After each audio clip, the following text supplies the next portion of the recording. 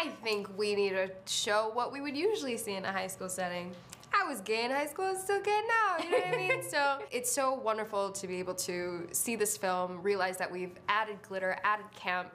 The characters are just as vibrant as before, if not more. Yeah, I think in film and television, queerness always has a certain look, and it was nice to also show that there are plus size queer people who are fun and joyful and jolly, and they're not getting slammed into lockers and they're not running to the bathroom crying and eating a sandwich. You know, like there are there are fun times for us too. We enjoy it. We have the queer experience, you know, but it's also not just about that. They're not queer kids. They're Yeah. kids who happen to be queer.